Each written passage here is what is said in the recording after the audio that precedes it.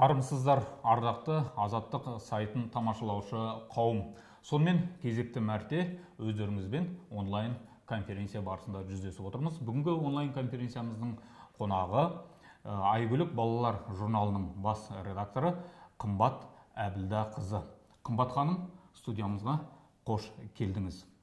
Өздеріңіз білетіндей бүгінгі онлайн конференцияның тақырыбы қазіргі қоғамдағы отбасы құндылықтары және балалар тәрбиесіне арналатын болады.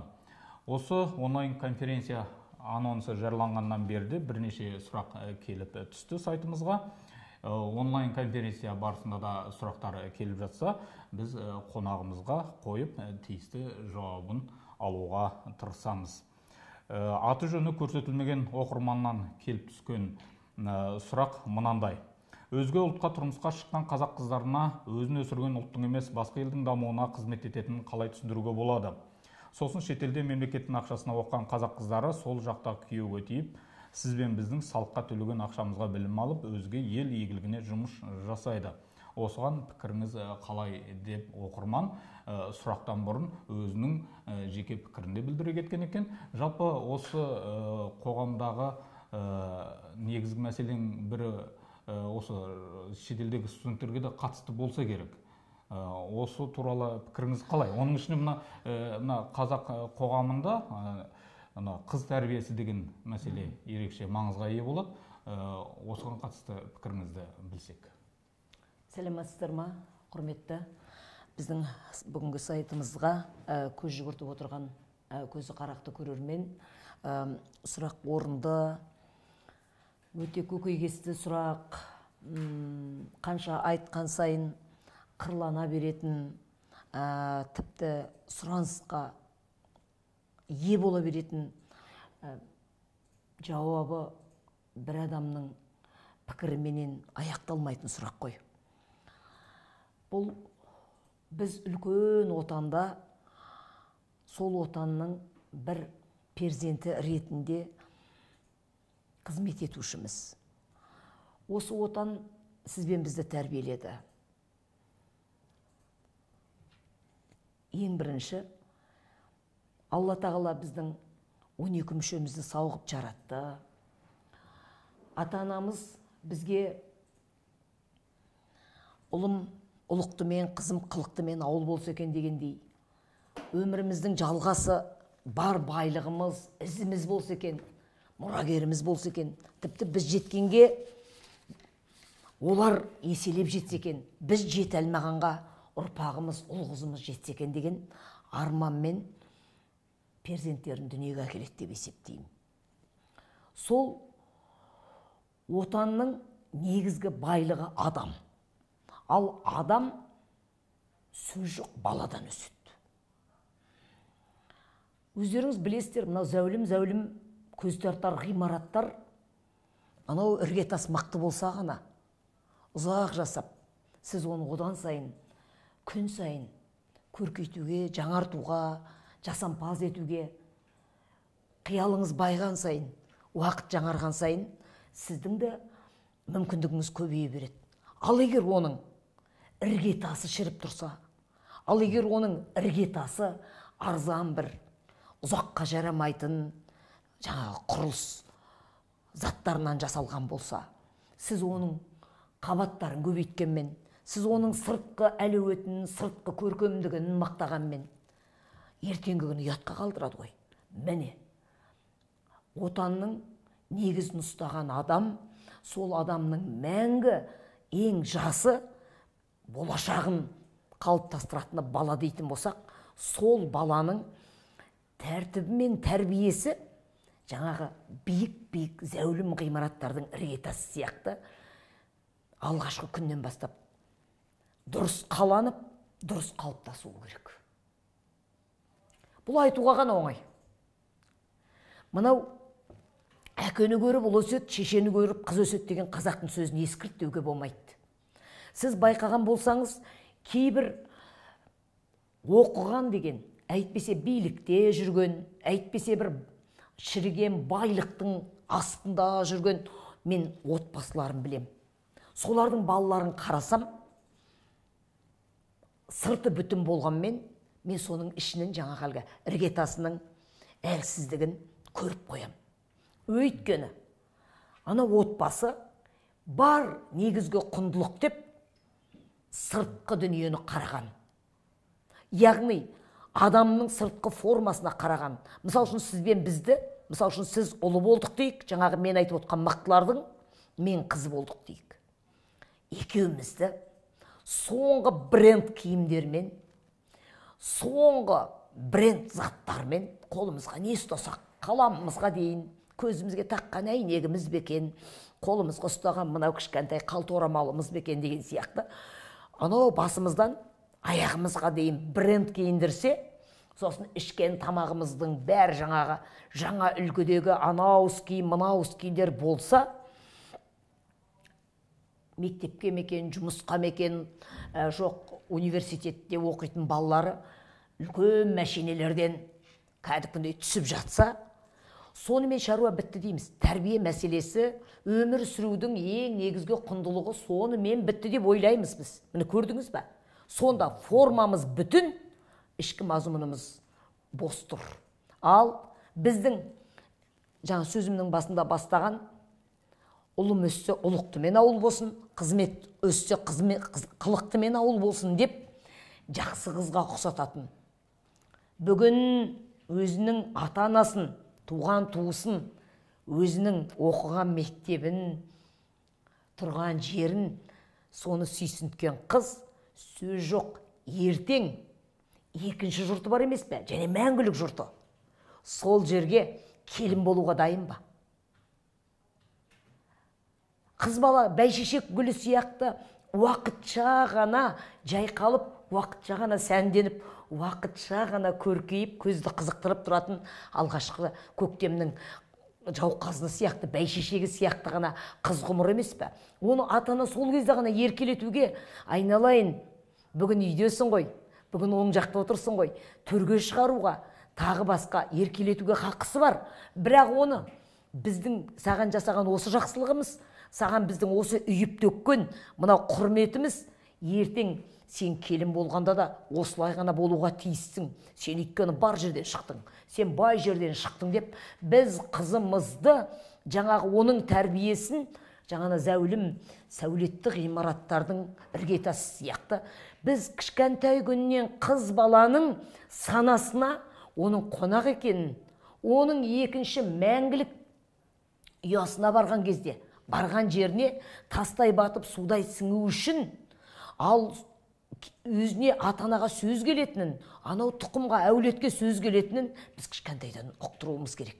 Балам сен мені сіздің мысалы үшін қызыңыз дейік кішкентай күннен бастап. Сіз әке ретінде балам қызым мен сені еркелетем, сен менің гүлімсің бірақ менің ғана.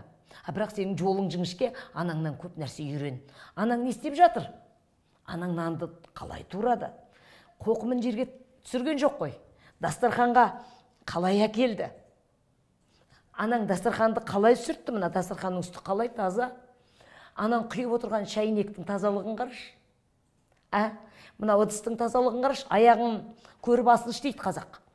Егер ер адамдар әйелдің еңбегін бағалап анаңның тазалығын қарашы. Анаңның жуған орамалының тазалығын қарашы. Анаңның қойған затының тазалығын қарашы. Анаң құсап істе. Ана анаң құсап. Ана анаңнан үйрен. Ана кірді. Анаң құсап таза қылып жу. Ер адамның киімін бірінші жу жағасын кірлетпеу ер адамның қалталарын сілкіп жуарда ішіндегі қоқымын қағып одан кейін жуғаннан кейін мынандай қылып міне осының бәрін біз үйретпейміз. Біз қыз баланы қыз баланы тәрбиелеуден қалдық қазір. Қалдық. Біздің арманымыз кіп кішкентай баламызды ең мықты ең қымбат балабақшаға орналастыруымыз керек біз баламызды ең элиталы мектепке беруіміз керек. Біз баламызға ең қымбат портфель ұстатуымыз керек. Жаңағындай біз сонымен ата аналық парызымызды артығымен орындап жатқан сияқтымыз. Біз есесіне былай қарасаңыз кішкентай деп айтылатын ой ұсақ қой деп айтылатын былай қарасаңыз сол ұсақтардан сол кішкентайдардан құралатын тәртіп деген бар қыз тәртібі тәрбие деген бар қыз тәрбиесі балам қалаға да даланың қызына да балам етегіңді жауып отыр сен қыз баласың аяғыңды жауып отыр бұтыңды ашып отырма омырауыңды әкең келе жатыр не ол несі ескірді айтыңыз маған несі ескірді әкең келе жатыр әкеңнің көзінше омырауыңды ашып отырма әкеңнің көзінше аяғыңды шауып отыр етегіңді қымтап отыр. Осының несі ескірді айтыңызшы? Не бұл бұны біз қалай архаизмге историзмге жібереміз бауырым ау? Ал анаңның пісірген тамағының дәмдісін қарашы кескен кеспесін айтатын болсақ жайған нанын қарашы ұны шашырап тұрған жоқ. Қазір осындай қағаздай болып жайылған нанға жайма нанға қазір сорпасы мөп мөлдір болып тұрады егер мына ұны бұрқырап жататын болса сорпа қазір ішуге жарамайтын ботқа болып қалады яғни мына тәрбие мәселесінде ұсақ түйек жоқ дейсіз ғой. Бізде қазір кез келген мәселеге маңыз беріп мән беріп Бізде- оның салдарына кішкентайдан бастау керек. Не нәрсені аударуымыз ұсақтан бастау керек. Қасына біздің бүгінгі әйелдер мен өзім сол әйелдің біреуімін. Біздің бүгінгі әйелдер қыз баласын қасына кішкентайынан ерте жүріп жаңағындай тазалыққа тәрбиеге ысырапқа жол бермеуге сосын ер адам әкең келе жатыр деу арқылы ол сенің ағаң ғой. Сен ағаңа неге қарсы сөйледің? Осыны ескірді деп қалай айтасыз? Неге сен бір мысалы үшін қарындасы болып еркелеп байқамай ағасына қарсы шығып жатса ол сенің ағаң ғой. Азамат қой болмайды десе сол кішкентай күнде айтылған дүние ана су жаңа ми ғой баланың миы қыз баланың миы. Сонда азаматқа өйтіп қарсы келуге болмайды екен ғой. Қатты сөз айтуға болмайды екен ғой. Жағаласып сөз та- таластыруға болмайды екен ғой деген сияқты ертең жарына дайындық басталып жатыр. А бізде осы бар ма? Жоқ қой жоқ қой. Содан біз келеміз да енді келдік та қазақстанның ең қымбат мектептері қымбат бақшаларынан шыққан қымбат киіммен ғана қымбат затпен ғана ойын өсірген қыздарымызды келеміз да жіберсе жіберді жібермесе өз ақшамызбен деп тұрып шетелге жібере саламыз. Мен қазақты сүйетін қазақтың сөзін сөйлеп арын арылап жоғын жоқтап жүрген мен біраз адамдардың қыз, біраз адамдардың қыздарының шетелде оқып содан қайтпай қалғанын соның ата анасының бүгінгі қасіреті болып отырғанының куәсімін. Өйткені мен адамдармен көп араласамын ғой. Сонда не болды дейсіз ғой? Сонда не болды дейсіз ғой? Мына жақта бәрін қызының аузына қызының қалтасына тосқан ата ана ана жаққа барған кезде батыстың толық демократиясына кірген кезде мүлдем ақыл есінен айырылып қалды. Өйткені ол қыз баланың ар намысы ұлттық намысы. Әулетке келетін әкенің атына келетін бұл дүниеде бар ма жоқ па анау фамилиясын ататырып жүрген атасының атына келетін сөз кішкентай күннен бастап қыз баланың санасына сіңбеген. Сіңбеген. Мысалы үшін мен ел мені ойлайды ел мені ойлайды өжет деп ойлайды батыл деп ойлайды. Тіпті бір беткей бір кейде мені әлгі бір алдына келгенде тістейтін артына келгенде бір тебетін асауаттарға ұқсатады мені. Мен оны білем. Ал мен осындай шындық пен намыстың алдында ғана дауыс көтергеніммен осындай жүрегім шырылдағанымен сіз мен құдайдан қорқатынымды білсеңіз. Жолдасымның алдында ұл баламның алдында қайын жұртымдағы ер адамдардың алдында өз жұртымдағы бауырларымның еңбегінің алдында мен өзімнің жолымның жіңішке екенін анау кеше мені бауырына алып көзім ұйқыға кеткенше ертегі айтатын тыйым сөз айтатын әжемнің әруағын сыйлаймын. Одан бергі шешелеріміздің одан бері оқыған кітаптарымның рухын сыйлаймын. Өйткені біз олардан жақсы кейіпкерлерге қарап өстік. жақсы түсінікті. Ә, қымбат ханым енді мына сіздің айтқаныңыздан бір түсініп жатқанымыз мына бүгінгі онлайн конференцияның тақырыбы мына отбасы құндылығы ғой. Иә. Енді мына сөзіңіздің ләмінен байқағанымыз отбасының құндылығы қазір өзгерген. Осыған не себеп? Осының себебі қайда астары қайда болуы мүмкін? Мен яғни біз бұрын басқа отбасы құндылықтарының шеңберінде өмір сүріп келдік. Ол дәстүрлі деп атауымыз мүмкін мүмкін басқаша атау болуы мүмкін. Ал қазіргі уақытта ә, осы құндылықтар өзгерген сияқты. Құнсызданып бара жатыр дейсіз ғой. Қазіргі заманда тұрған ештеңе жоқ. Заманның иесі адам. Сіз бен біз заманның иесі заман бұрынғысынша күн шыққан жерінен шығып батқан жерінен батып жатыр ғой. Айтыңызшы сол 24 сағатта өмір сүріп жатырмыз ғой. Иә? Бізде өзгеріп бара жатқан дүние біздің әсіресе біздің халықтың шіркін ай еліктегіштігі. Асыра әсіре қызыл еліктегіштігі. Осы бір ұлттық идеология деген менің өле өлгенше бір арманым болып кететін шығар мен ішқұса болып кететін шығармын осы ұлттық идеологияға осы бір салқын қарағанымыздан дейін ба салақтық жасап жүргенімізден дейін ба есем кетіп бара жатыр. Менің емес ұлттың есесі кетіп бара жатыр. Қазақтың құндылығы отбасылық құндылығы. Егер сіз бен біздің ең бірінші қайдан жаратылғанымызды білсек екеуміз. Кім жаратты бізді? Осы сұраққа қазір біздің мынау тыңдап отырып көріп отырған адамдардың көбі айтады әке шешем жаратты дейді. Жоқ. Жаратушы күш бар ғой. Сіз бен бізді. Біз егер алланың бұйрығы болмаса осындай боп санамыз сау боп деніміз сау боп тіліміз сау боп діліміз сау боп осылай отырар ма едік? Ата анамыз себепші тілекші.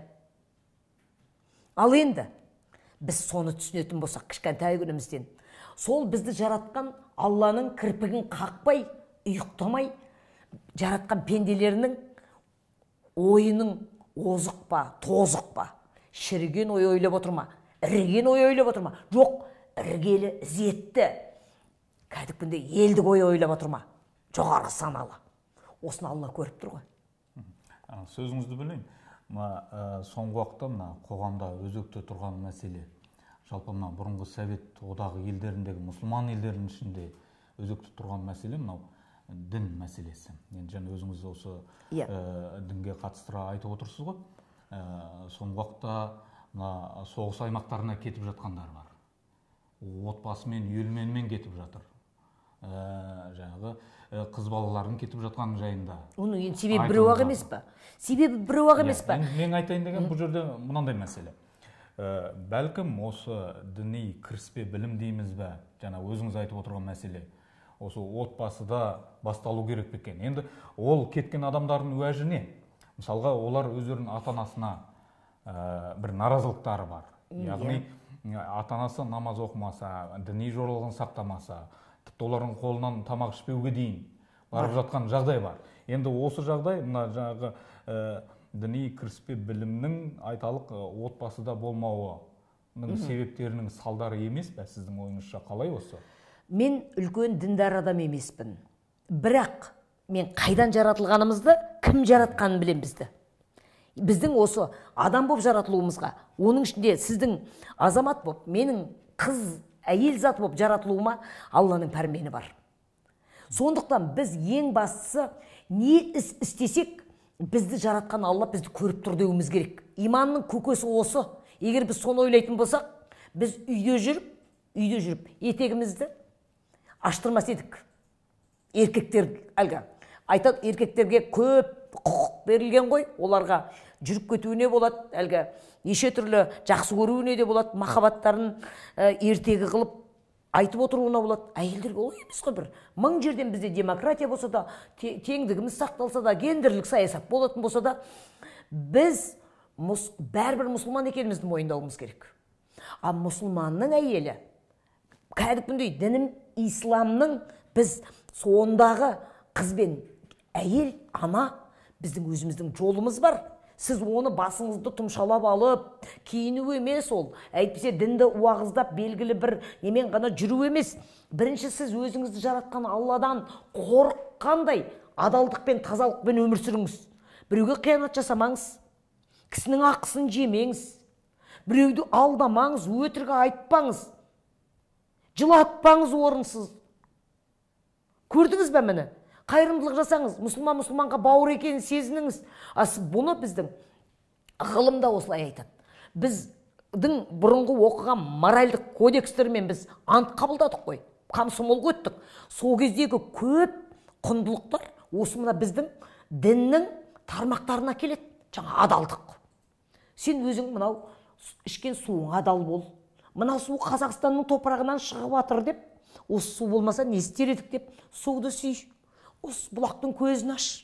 Мына бұлақты лайлама ластама қоқысты тастама қараңызшы мына жұтқан ауаңды сыйла жұтқан ауаңды сыйла. Әйтпесе жаным ау мына басып жүрген жеріңді сыйла. Сол осының бәрі дін не дейді? А білім соны толықтырады ғылыммен жаңалықпен негіздейді. Сонда бізде ескірген ештеңе де жоқ. Біздің жаңағы анау дінді уағыздап дейміз бе діннің соңына еріп дейміз бе. Ә, басқа жаққа кетіп жүргендер әйтпесе өзіміздің елдің ішінде жүріп бірнеше дінге бөлініп жүргендер осылар не ислам дінінің негізгі атқаратын қызметін білмегендер не білім алмағандар кәдімгідей тәрбие алмағандар не үйден отбасынан не ана қоғамдық орыннан мектептен бекен одан кейін жоғарғы оқу орындардан бекен осылар сосын қасында жүр. Соңына ер ізгінің соны ұстайсың кісіліктің тізгінін. Адам дегеннің бір алдына шіркін ай болмасаң да ұқсап бақ деп абай айтпақшы. Бір жақсыны көрсеңіз ондай болмақ қайда? деп айтпағылым сүйсеңіз деп. Шіркін ай мына кісіні көркейтіп тұрған мына кісіні осылай халыққа сүйкімді етіп бет жүзін ашық қылып тұрған білім ау. Бұл білім енді мен жинасам да осы білім менде болады ғой. Мен неге осы кісі оқыған кітапты оқымайды екенмін? Осы кісі жаңағыдай араласқан жақсы адамдарды мен неге сыйлай білмейді екенмін? Мен неге жақсыға іні болмаймын? Жақсыға сіңлі болмаймын? Мен неге жақсының ізінде жүріп соның батасын ала жүріп мен неге жақсы болмаймын деп?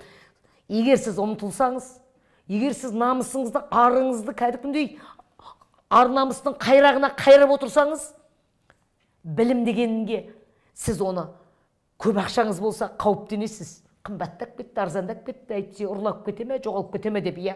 Ал сіз білімді қорғам өйтіп сіз білімді. Жаныңыз күйіп бірдеңеден қызғанып бірдеңеден қоршап сол үшін жаныңыз күймейді ғой. Білім деген жинап жинап аласың да орныменен ішіңе сақтап қоясың керек жеріңде жолсыздан жол көрсетіп тұрады. Сондықтан мына оқырман сұрағынан шығып кетті ғой мына қыз тәрбиесі. Иә. Жалпы әйелдің отбасыдағы орны деген жағдайда енді мынау дәстүрлі отбасы енді отбасының тәрбиесі деп ойламаймын бірақ дегенмен мынау қазір жиі кездесіп жатқан жағдай қыз алып қашу. Ол енді оның әртүрлі формасы бар енді иә, сіз иә. жақсы білесіз ол келісілген иә иә түрі болады оның. иә тараптардың ана өздерінің әлеуметтік жағдайына немесе басқа себептерге байланысты. Немесе енді еркінен тыс қыз баланы алып қашу деген мәселе қазір көбейіп кеткен сияқты көрінеді соңғы кезде. Оның да бір себептері жөнінде не айта аласыз? Менің түсінігімде кешегі ескірген уақытта да бүгінгі жаңарған уақытта да жалпы мынау қызды алып қашу дегеннің өзі бар ғой. Ұлтқа сөз келтіретін жағдай. Осыны бір мүлдем жойып жіберетін осыны бір ескіргенге балап жіберетін уақытымыз жетті менің ұғымымда. Өйткені жаңағы білетін адамдардың бірімен бірі сөз байласқан бірін бірі ұнатқан жастар бар ғой. Солардың кейде бірін бірі әлгі алып қашыпты дегенін ата, екі жақтың да ата анасы біліп отырады. Екі... ол сценарий бойынша иә жастардың өздері де біліп отырады. Иә. Бірақ әлгі қураған қу жағдай әлгі жомарттың қолын жоқтық байлайды дегендей соның әлгі ә, қазақы толып жатқан рәсімдерінен ә, қашқандай дейміз бе? Соны бір жеңілдеткендей бір жолы ғой. Мен ол алып қашуға бәлендей қарсылығым жоқ. Өйткені оның екі жақтың ата анасы да біліп отыр екі жас та бірін бірі біліп отыр. Ол жүре берсе келісілген алып қашу иә, иә. ол бір өзінше ол да бір қызық. Мен оған қарсылығым жоқ. Ал енді бар ғой. Отбасы болумен ойнауға болмайды жаным тіпті бірін бірі сүйіп бірін бірі бір күн көрмесе жүрегі жанып күйіп сыздап сырқырап жан дүниесі. Осы алып ұшқан адамдардың мен қосылғаннан кейін ажырасып кеткенінің де куәсі болып жүрмін. Сонда ойлаймын неге бұлай болды екен? Сонда араларында екі үш жыл жаңағы танысып жүрміз білісіп жүрміз араласып жүрміз дегендердің өзінің бірін бірі түсінбеушілігі жаны мен тәні жақындасқасын ашылып қалып тұр ғой. Сондықтан отбасы болумен мүлдем ойнауға болмайды отбасын құрумен жаңағы- алып қашуға қарсымын. Иә еркінен тыс жаңағы. Алып қашуға мүлде қарсымын. Ол қай жағынан болмасын өте ұят өзі ұят. Қазір малды алып қашсаңыз да қандай болады мысалы үшін? Маған мына үйдің тазы иті ұнап еді деп сіз досыңыз болып жүрген сыйласыңыз болып жүрген ешқашан бетіңізге жел болып тимеген бір досыңыздың тазысын алып қашыңызшы. Содан кейін сіздердің достықтарыңызға міндетті түрде сызат түседі. Ал ол адам ғой. Ол қыз баланың қыз деген ат бір ақ рет беріледі ғой. Ал есік көрген дегізіп оны ертең олар жараспайды ажырасып кетеді. Әйтпесе мәңгі бақи жылап жүреді іш құса боп. Сондай іш құса әйелден туған бала көз алдыңызға елестетіңізші сол қандай бақытты ұрпақ болады ертең? Қандай бір жаны жайсаң жүзі жарқын ойы зерек. Ұрпақ болады айтыңызшы. Ол жасып жүрген жабырқап жүрген мұң толып жүрген шер толып жүрген ананың жатырында жатты ғой. Сондықтан бірін бірі білмей тұрып бірін бірі толық сүймей тұрып тіпті кейбір жерде мен мынаны да айтар едім. Кейде бар ғой күй, күйіп жанып сүюдің де керек жоқ. Тіпті бар ғой бір қасиетін идеал тұтса. Мысалы үшін мен сіздің бір қасиетіңізді идеал тұтсам одан кейін мен сізге мысалы үшін екеуміз қосылдық дейік. Сол кезде мен сөз жоқ менің де сіз бұрын көрмеген кемшілігім шығады сіздің де кемшілігіңіз шығады жасырып жүрген. Енді бойдақ кезде адамның жасыратындары болады ғой. Сол шығады. Сол шыққан кезде ек жаңағы екеуі бірін бірі жаңағы ажырасуға ма талақ етуге қиып жібермес үшін қош осы қасиеті басқада жоқ қой дейтін. Идеал тұтатын сіздің бір қасиетіңіз болу керек. Мен сондықтан қыздарға айтар едім. Біз де қыз болғанбыз осы бетімізде түскен жоқпыз бір жерден. Жігіт тұрмысқа шығатын жігітіңнің бар қасиетін емес бір қасиетін идеал тұтуың керек. Сол үшін ертең кешіресің сол үшін ертең сенесің. Аналардың мыналардың тағы басқалардың айтқанынан өз жігітіңді өзің арашалап алып бұл қателесіп қалды ғой деп өзің кешірім жасап тұрасың. Міне бұл отбасының беріктігі.